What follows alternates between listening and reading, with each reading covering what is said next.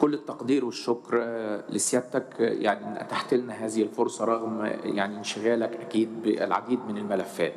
الحقيقة في آخر اجتماع لسيادتك معانا كان في تكليف في 2021 بضرورة دعم مشاركه الطلاب في كافة المجالات وذلك من خلال بناء وعي قومي حقيقي وانتماء وبيانات ومعلومات الطلبة بتوعنا والشباب يبقوا على دراية بيها. الحقيقة جامعة طنطا الحقيقة اتحركت في هذا الاتجاه بشكل يعني كبير وبشكل إيجابي بأن إحنا حرصنا على مشاركة كل طلاب الجامعة وكل طلاب جامعة طنطا 121500 غير 16700 طالب دراسات عليا فشاركوا في كافه المشاريع القومية شاركوا في زي حياة كريمة ومحو الأمية.